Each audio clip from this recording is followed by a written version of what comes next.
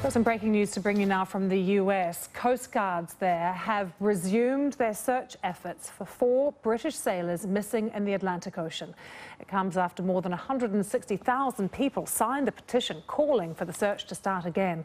It was originally called off after just two days. Their yacht, Cheeky Rafiki, was last seen on Friday sailing back to Southampton from a regatta in the Caribbean. They got into difficulty a thousand miles off the coast of Cape Cod in Massachusetts. With me now is yachtsman Jonathan Blain. He was dramatically rescued in 1990 when his boat ran into trouble during his first transatlantic crossing 300 miles off the coast of Ireland. Thanks so much for being with us. It's a pleasure. You've just heard this news, they've resumed the search. Was I, that the right decision? I think it's absolutely the right decision. I'm totally delighted that they've done that. I think, um, you know, they're highly professional, the Coast Guard. They've got reasons for, for calling it off, but I think that it's right, you know, to give it another go. And uh, the, there's such a well of support, um, you know, to actually go and do it. And I think I I believe that they could very easily be alive, and I don't think we should give up on them. And I've got very good personal sort of experience to know what it's like on the other end. I'm going to ask you about that in a minute, but the reason that the Coast Guard originally gave is that they said this crew could only have survived for about 20 hours after the time of distress, and they gave some pretty good reason. The waves there were 15 foot high, the winds were 50 miles per hour, the water temperature very cold as well, and they just said these men wouldn't have survived. I mean, it's possible to survive, is it? Uh, well, I, I, th I, think absolutely. I mean, I've been in a hurricane in mid-Atlantic, you know, as well as being a yachtsman. Uh, I'm also been a professional seaman, a Royal Naval officer. So uh, I've been through a hurricane at sea. I've been in, um, you know, uh, in a yacht with significantly bigger waves than 15 foot's not that high. 50 knots of wind's pretty high, but 15 foot waves are not that high. And you better explain to us what you've got here, Jonathan. Well, this, this, this here, this is a satellite distress beacon. Right. And uh, this little baby saved my life 24 years ago, and I'm very pleased that it did. Because, you know, I've loved my life and, uh, you know, I've got family, three lovely girls and a lovely wife and I love every minute of every day. And I'm sure these guys on the, um, you know, on the yacht, I don't believe it's their time. I think they've got lots of life. Two very young guys, two middle-aged guys. Everyone's got lots of life left in them. And what I know is that they, when you embark on ventures like that, you're not stupid. You know the elements. You have huge respect for the sea.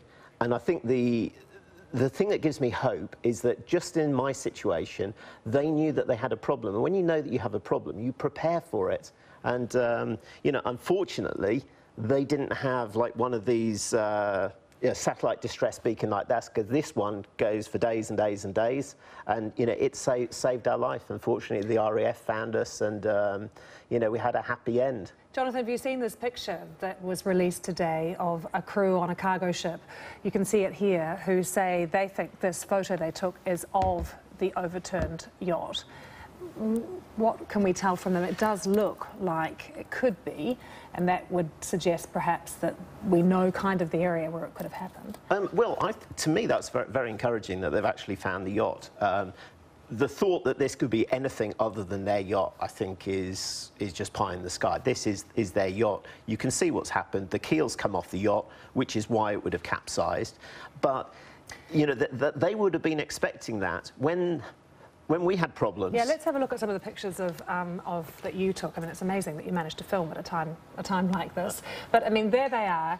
You know, they're on their yellow or orange raft, I suppose it could be. We're not sure. Surely yeah. they're very visible to the Coast Guard. If they start flying, they would have seen the raft. Well, I, I, don't think so because um, when, when, you're out at sea, you see you've got these massive waves. You have so how big, are, how big are these waves here? These waves. Well, it's always difficult to you know to tell. I'd say they were sort of 20 foot something like that, 20, 25 uh, foot.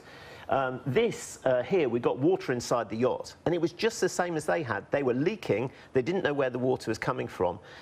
Our yacht was eventually salvaged by HMS Ark Royal. We got it back. We found out it was leaking through the keel. Our keel didn't fall off, but it could have done. We were expecting it to. That was our sus suspicion. How did you keep your hopes up? How did you hold on to this idea that you were going to be rescued? Well, um, we, we had no intention of dying. That, that's for, for sure.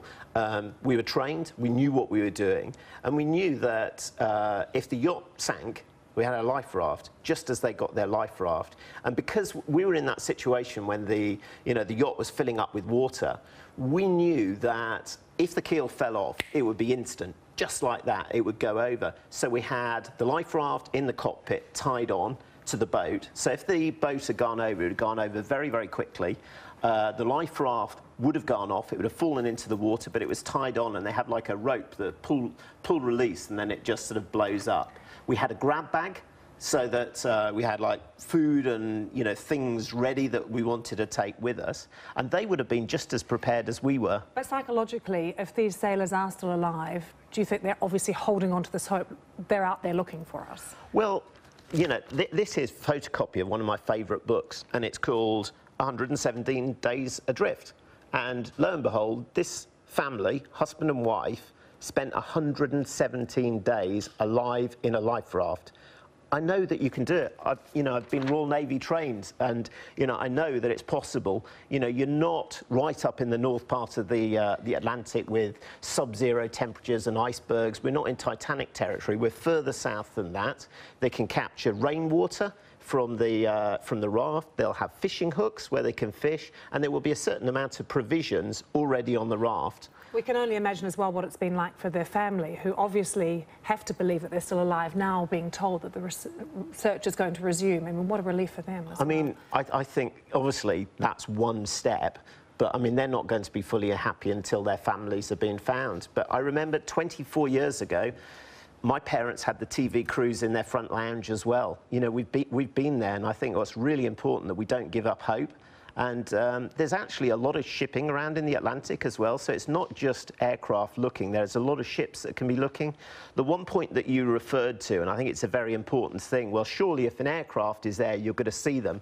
And what I'd like to stress very clearly is that with the waves, you have peaks and troughs, and you can get whole ships disappear into the troughs. And uh, even when you're looking from the sea uh, or from the air, it's very, very difficult to find. Now, we got close enough to land before we were finally rescued that we were, we were airlifted off, and it was the furthest they've ever sent a helicopter out to sea. That helicopter knew where we were. We fired flares, we had smoke canisters. They struggled to see us. So to me, it's not a surprise that you fly an aircraft over the, the area. And when I was in the Royal Navy, I was affiliated to 201 Squadron with the Nimrods, and you know, I looked down there from, from, from the air. It's not easy to see it. The ocean is a very big place. You can, you're just like a pinprick, even if it's a bright orange dome. Um, so I, I think people shouldn't draw conclusions that there's nobody there just because uh, that life raft might be in the trough as you're, um, you're looking at it. Jonathan, absolutely fascinating to talk to you. Thank you so much for joining us and really explaining what the search and rescue teams are going through, what the families well, and the crew are going through as well. well. Thank you for being with us. Thank you very much. Bosnian officials say more than a quarter of the population has been left without clean water after severe flooding across many